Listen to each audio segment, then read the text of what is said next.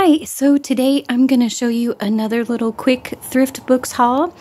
I am going to separate it into two videos because I got some beautiful Tasha Tudor books and so I'll do a separate video for that.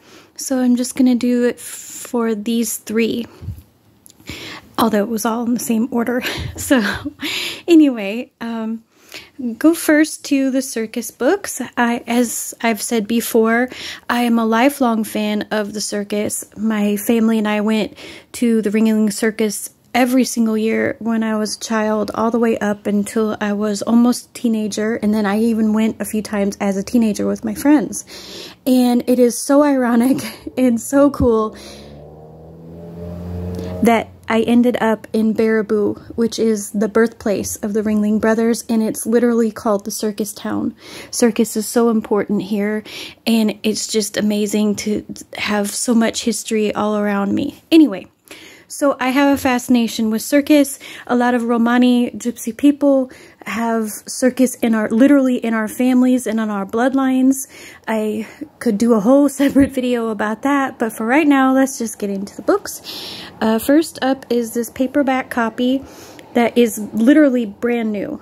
I mean, it is absolutely pristinely brand new.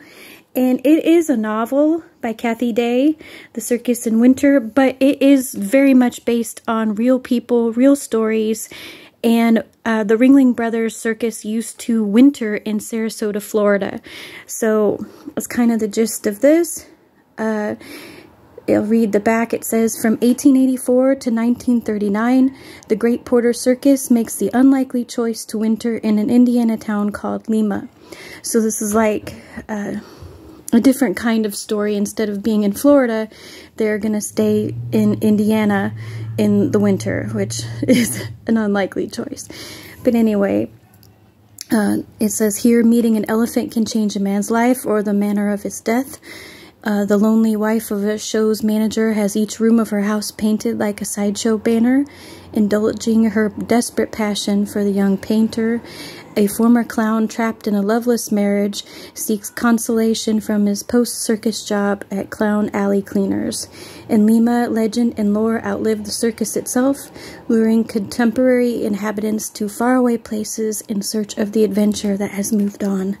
I am excited to read this even though it's fiction, I still absolutely love circus stories. And there are, um, let's try to find this again. What looks like photographs as part of the art in there. Really cool. So that's that. And then this is a book that I have wanted for a really long time, The Queen of the Air. And it's about literally she was that was her name. She was Lillian Leitzel. And i encourage you to read about her because she was absolutely fascinating. And i've been wanting this book forever and it's hardbound. It's beautiful. It's in really good shape. As you can see under the dust jacket it just looks brand new. And but it's not brand new because somebody had wrote this in here for Gemma and Steph in 2013. So, choreography, so somebody gifted this book, and I am privileged to have it now. And the whole thing has historical references, beautiful real photographs of her and her husband. They were an amazing love story. So, also super excited to read that. And then this one I thought was going to be a poetry book of Walter de la Mare, but it, it turned out it's not.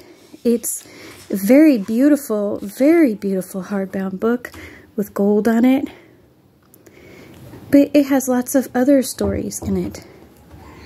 And some beautiful art as well. Fairy tales and little stories and I love this art style and these particular illustrators that are in it. So it's going to be a good read. I was looking for the the date on it. And it says copyright 1958-1960. So I'm assuming that it is one of those years. It's in excellent condition though. I cannot highly recommend the thrift books enough. I just think they're absolutely wonderful. I am not sponsored by them, but I would not mind being so in the future. I love that you can get books that you that are rare, hard to find, and they tell you what condition they're in, and it's just a steal. And if you want to get rid of some books on your bookshelf, as I did, I turned in old books that I didn't want anymore for these books. So they also they also offer that where you can ship back your books to them and they'll give you a price for them and they even print you the shipping label. You put them all in a box and gives you credit to get new books. So thank you so much for watching and I will be back to show you the Tasha Tudor books in a separate video. Take care.